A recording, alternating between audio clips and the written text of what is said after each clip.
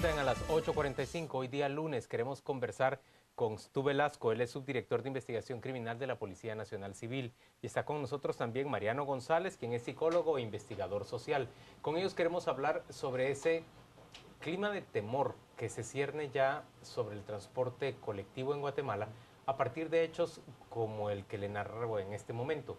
Un artefacto de fabricación casera que puede activarse mediante un teléfono celular, es decir, algo muy semejante a lo que explosionó una semana atrás en un autobús domingo que procedía de San José Pinula hacia Guatemala, fue descubierto el día de hoy en la mañana en un autobús que venía de la zona 18. Esto, por supuesto, genera temor en muchas personas que usan el transporte colectivo a diario para trasladarse hacia sus oficinas. A los dos les damos la bienvenida. Gracias por acompañarnos y ayudarnos a, entender, a desentrañar un tema como estos. Y quiero decir que este no fue el primero ni el último. La semana pasada también apareció aparentemente una broma, un tubo con piedras dentro de un, de un bus también de transporte colectivo. La pregunta al comisario es, ¿cuántos de estos eventos se han repetido desde que estalló aquella bomba el domingo en ese mm, colectivo? Sí, eh, desde que sucedió el 6 de marzo de 2016 hemos tenido al menos siete alertas que están vinculadas al tema de artefactos explosivos improvisados. Siete, desde... Siete, desde que se dio ese, este primer evento criminal.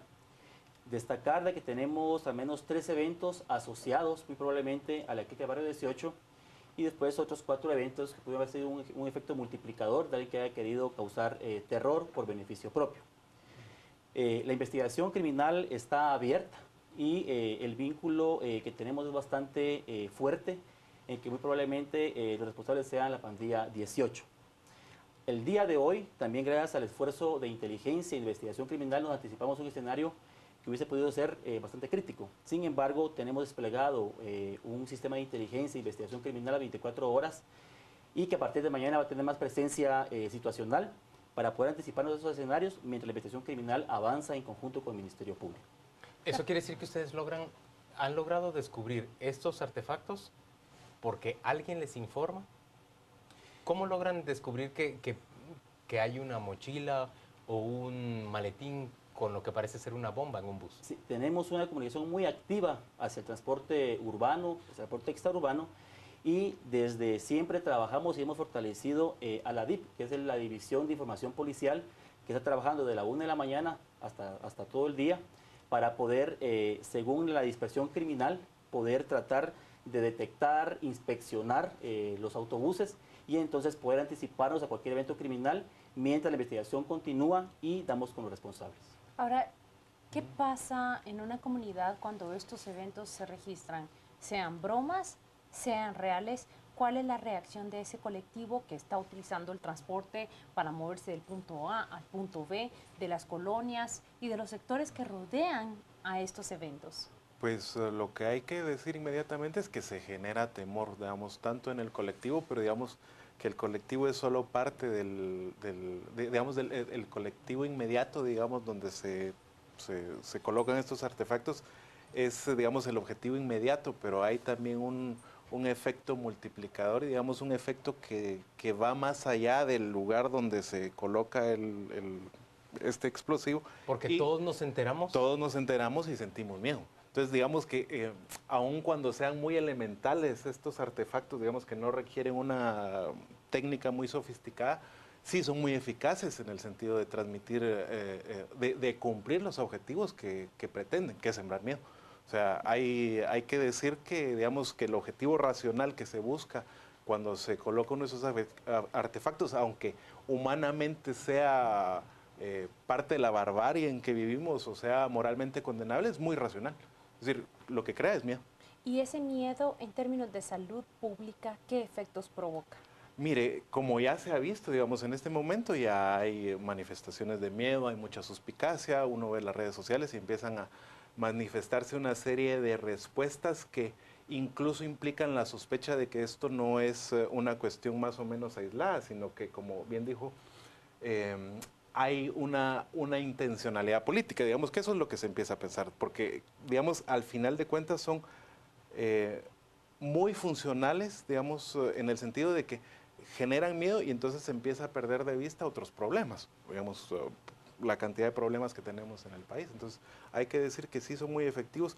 Pareciera que, digamos, insisto, tienen alguna intención más allá del objetivo inmediato que es cobrar la extorsión. Comisario, de las seis denuncias, menciona usted, que han recibido desde que explotó esa bomba en, el autobús de San José Pinula, de las seis denuncias, ¿cuántas han resultado reales y cuántas falsa alarma?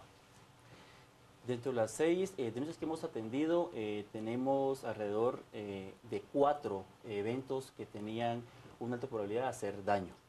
También tenemos tres personas capturadas. Hoy a las 3 de la tarde se captura a la persona que ayer lanzó una bomba incendiaria en zona 6 de Misco. Entonces tenemos cuatro eventos que eran muy probables de hacer un daño y tenemos tres capturados hasta la presente fecha respecto eh, al tema de la psicología que podría estar afectando y el temor en la sociedad, eh, estamos muy claros de que la sociedad demanda seguridad. A raíz de eso, señor director de la policía, eh, una mesa técnica y tenemos a las mejores unidades de la Policía Nacional Civil en el aspecto técnico de investigación y de inteligencia rebajada a las 24 horas, primeramente para poder resolver el caso de San José Pinula, que no quede en la impunidad y estamos completamente seguros que la investigación va bastante avanzada y que en conjunto con el Ministerio Público tenemos que mostrarle a la sociedad a los responsables porque la Policía Nacional Civil eh, tiene todas las capacidades y no vamos a permitir que siga multiplicando este evento y lo hemos demostrado con todos eh, eh, los artefactos que hemos podido incautar hasta el momento. Pero hay una pregunta que ha hecho Juan Luis y se refiere a cuánto o cuál es la capacidad de la Policía Nacional Civil de adelantarse a un evento real. Estoy hablando de un escenario hipotético en el cual ustedes saben por filtración de información de la colocación de estos artefactos y pueden estar ahí mucho antes de la tragedia. Eh, considero que un ejercicio bastante claro es el día de hoy.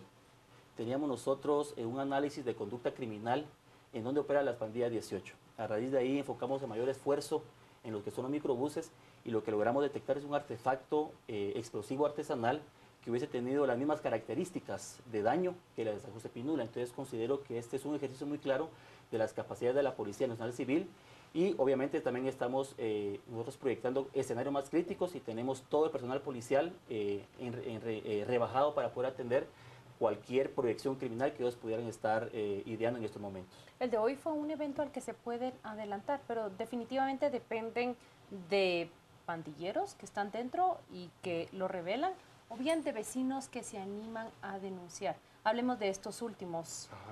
Las condiciones de la denuncia son prácticamente aisladas, sino mínimas. ¿Cómo puede animarse a una comunidad, a un vecindario que vive bajo este estado de terror a denunciar? para que pues la historia empiece a cambiar, para que corten ese ciclo. Claro, digamos que lo que está haciendo la policía es importante. Por ejemplo, el hecho de que se hayan adelantado algo, eh, Brinda permite, permite dar confianza, porque una de las cuestiones que adolece la institución, y esto lo demuestran diversos estudios, es que no hay confianza en la policía. Digamos que es una de las instituciones que menos confianza tienen. Entonces, indudablemente que alguna respuesta de este tipo puede llegar a dar confianza. Yo creo que eh, en general es... Eh, hay que invitar a la población a denunciar lo que se pueda, pero digamos hay que considerar también que en las zonas donde hay control de pandillas o, o control de estructuras criminales es difícil por el miedo que existe, que además se refuerza con esto, porque hay que decir que aunque se haya evitado algunos hechos, el efecto ya se produjo, claro. porque ya se creó los lazos sobra. Comisario, esas personas que han sido detenidas, ¿son sometidas o son consignadas por cuáles delitos? ¿Terrorismo se incluye entre los delitos? Eh, lo que hacemos nosotros eh, como primera eh, eslabón de la cadena de seguridad y justicia es eh, recuperar todos los elementos eh, de evidencia que encontramos en la escena de crimen, faccionar una prevención policial y ya es el Ministerio Público y el organismo judicial quien le da eh, la tutela jurídica. Sin embargo, los estamos asociando nosotros, estamos dando la evidencia del artefacto improvisado que en la ley lo prevé, lo prevé dentro del manejo de explosivos químicos. Entonces, por ahí iría la línea de investigación y tenemos una coordinación estrecha con el Ministerio Público para que tanto la prevención policial, el trabajo de inteligencia vaya siendo enfocado a los requerimientos jurídicos para cuando se presente al tribunal tenga toda la formación jurídica para que tenga un caso sólido. Pero usted no sabe cuál, cuál delito se les está imputando o, por cuál delito se les está Hasta el momento estamos trabajando el tema de extorsión, extorsión, asociación ilícita, estamos también trabajando por esa situación y muy probablemente por el uso de artefactos explosivos no autorizados. Otra pregunta, los, los artefactos que están eh, articulando, que están construyendo, ¿requieren de algún elemento esencial que podría, cuya venta podría controlarse o eso es muy difícil de hacer? Respecto a los que hemos localizado, eh, sí hay, por ejemplo, está la pólvora, ¿verdad? Eh, hacemos también un llamado eh, a las personas que puedan vender pólvora en el país. Por estas fechas, si alguien de pronto les va a comprar demasiadas situaciones que ellos consideran que no es por el momento, pueden denunciarlo al 1561, a la línea de cuentas de Valdemar, repito, 1561 para poder nosotros enfocar los esfuerzos, ya que eh, esto utiliza pólvora de la que todos conocemos eh, de los juegos pirotécnicos. A mí me preocupa que en el mes de marzo haya ya por lo menos, ¿cuántos? Seis incidentes y cuatro de ellos, digamos, confirmados. Esto nos habla de que parece haber una orden adentro de, del barrio 18 para construirlos y generar esta zozobra de las que nos hablaba Mariano. ¿O es así siempre, comisario? Nosotros tuvimos el reporte eh, del primer utilización de artefacto explosivo el 20 de febrero en zona 6 de Misco, en una carnicería, luego el 3 de marzo en Chimaltenango y luego empezamos con el 6 de marzo. Hasta el momento eh, todo apunta a que podría ser el barrio 18. Sin embargo, hasta que tengamos la investigación criminal eh, detallada, podremos eh, tomar una posición y afirmar qué estructura estaba atrás de sus ataques. Lo que también es cierto es eh, de que tenemos una conciencia de que estos son ataques que atemorizan a la sociedad. Producto de eso, estamos nosotros eh, enfocando todos los esfuerzos y tenemos un estudio muy detallado de dónde la presencia de las clicas, las cuales también han sido mermadas operativamente. En lo que va del año le hemos incautado 85 armas de fuego, hemos capturado a 70 de sus sicarios, sus extorsionistas, y también eso incide estructuralmente en la capacidad de una estructura criminal. Entonces estamos también analizando cuál es la proyección criminal si es porque hay una rentabilidad criminal como la de antes, que los hace ser más violentos, o determinar cuál es la verdadera causa de estos ataques. Mariano, hablamos a menudo de cómo se prepara la policía o cómo reacciona, cómo recopila esas evidencias para estar preparados para un juicio, pero hablamos muy poco de todas las medidas y políticas de prevención que van a cortar de raíz en historias como esta. Mencione usted cuál es esa política urgente que hemos dejado abandonada y que cambiaría en el cortísimo plazo eh, eh, el destino que estos chicos tienen para delinquir.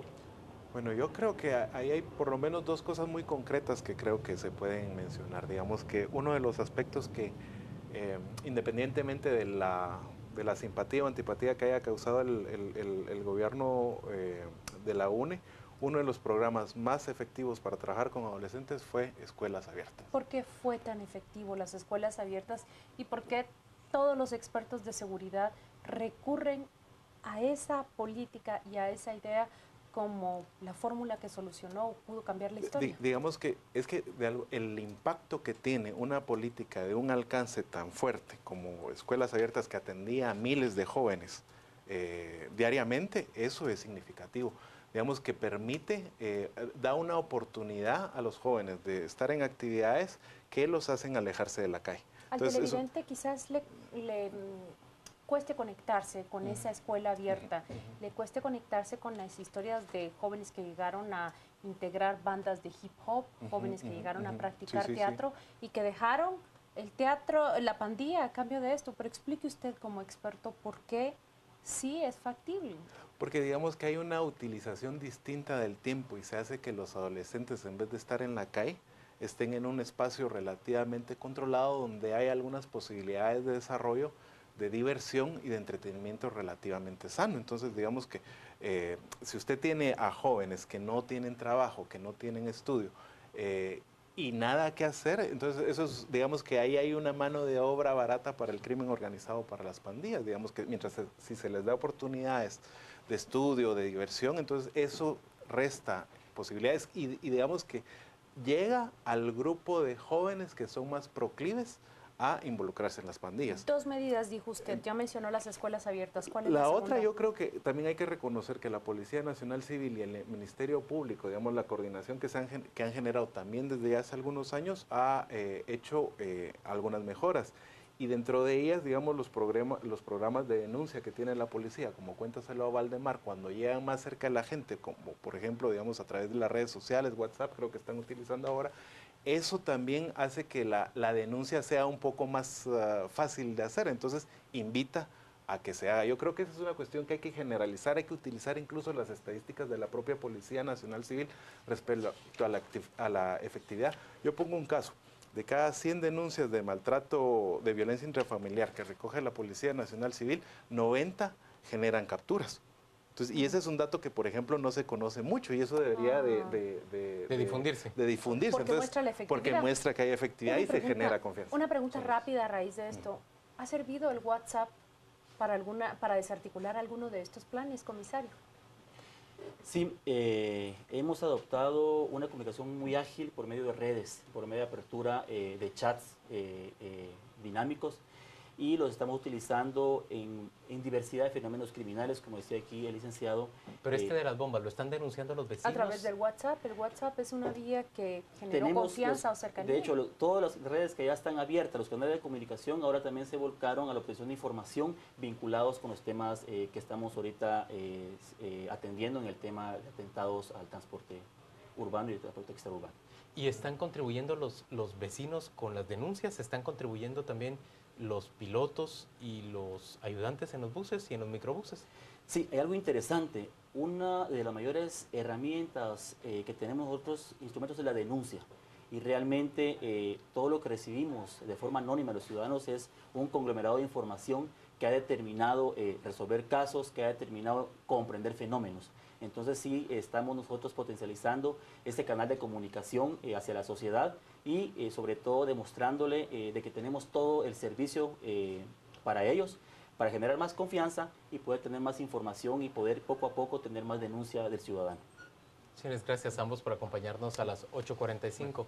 Vamos con nuestra compañera Rocío Lazo. Ella nos cuenta qué se comenta en redes sociales sobre este tema, el tema de las bombas y los artefactos que han sido descubiertos en diferentes microbuses y buses de transporte colectivo desde el pasado 20 de febrero en el área metropolitana.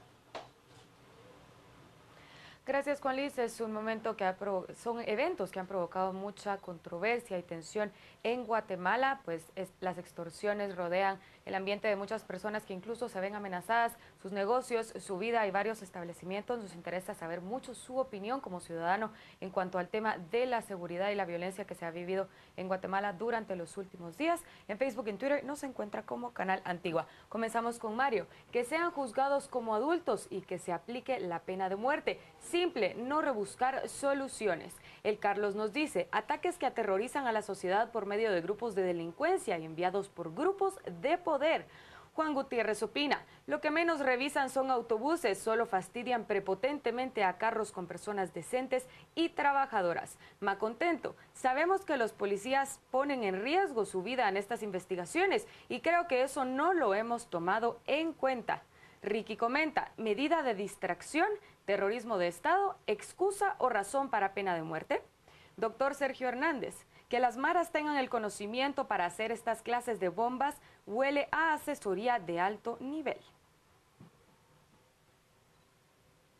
Le agradecemos por todos sus comentarios y le invitamos a seguir opinando en nuestros espacios, Facebook y en Twitter. Nos encuentra como Canal Antigua. Es momento de conocer todas las noticias deportivas y por favor, quédese con nosotros. En unos minutos comenzamos con a las 10 pm.